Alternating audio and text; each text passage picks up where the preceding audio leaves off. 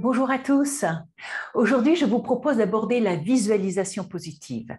Comment, par la puissance de nos pensées, nous pouvons réussir à atteindre nos objectifs, à réaliser nos rêves.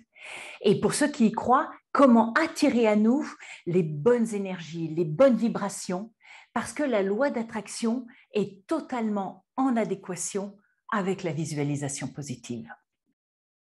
Alors, vous le savez, je suis l'ancienne championne mondiale de natation artistique et je vous garantis qu'il n'y a pas un seul sportif de niveau mondial qui ne travaille pas cet exercice pour atteindre ces grands résultats.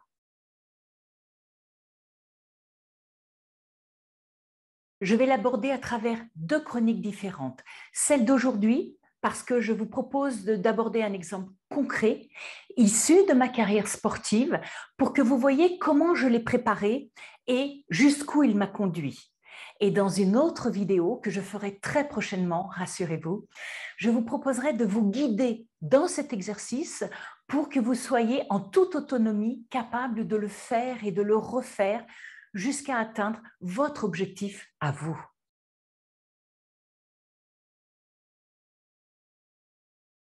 Alors oui, je vais utiliser l'exercice d'apnée pour vous expliquer comment je travaillais la visualisation. Dans mon sport, la natation artistique, les apnées sont fondamentales parce que nous passons énormément de temps la tête sous l'eau, les jambes hors de l'eau, à faire des mouvements toujours plus rapides, toujours plus dynamiques, qui pompent énormément d'oxygène dans le sang. Donc, je pose le décor. À 12 ans, j'ai découvert la natation artistique. À 14 ans, j'étais en équipe de France. Et je n'ai eu de cesse à partir de là d'essayer de développer ma cage thoracique pour être capable de rester le plus longtemps sous l'eau.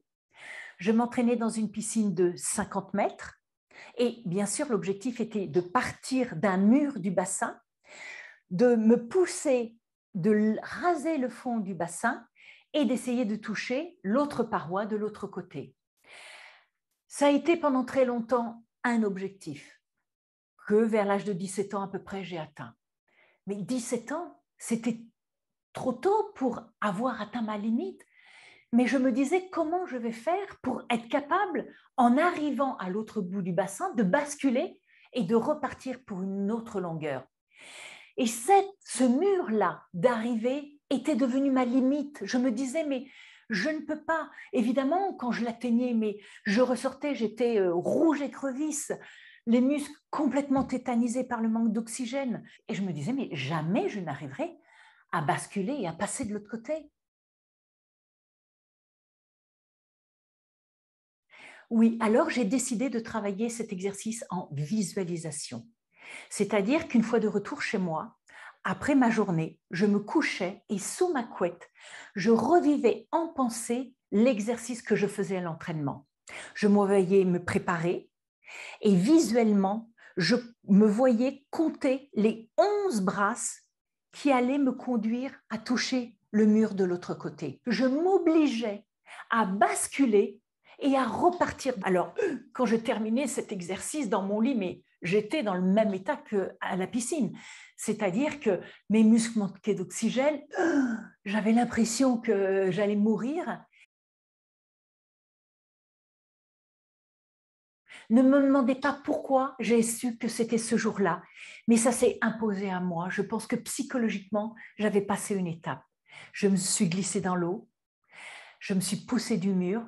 En apnée, j'ai exécuté les 50 mètres. J'ai tout de suite basculé de l'autre côté et je me suis poussée du mur pour entamer une nouvelle longueur. Cette victoire-là, je ne l'ai pas gagnée dans le bassin, je l'ai déjà gagnée dans ma tête parce que je m'étais préparée psychologiquement et parce que en même temps que je préparais mon esprit, je préparais mon corps à savoir que ensemble, tête et corps à un moment donné s'aligneraient pour dépasser cette limite que j'avais dans la tête à la suite de ça, mais plus rien ne m'a empêché de reproduire cet exercice qui est devenu presque une habitude, et puis, une fois basculé, de rajouter un mètre, puis deux mètres, puis trois mètres, puis quatre mètres, et finalement d'être capable de rester trois minutes trente en apnée.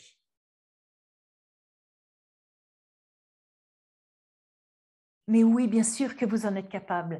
C'est pour ça que très prochainement, je vous fais une petite vidéo supplémentaire pour vous guider dans cet exercice, pour vous rendre autonome et pour vous aider à atteindre vos objectifs. Alors, je vous dis à très vite et je vous souhaite une très jolie journée.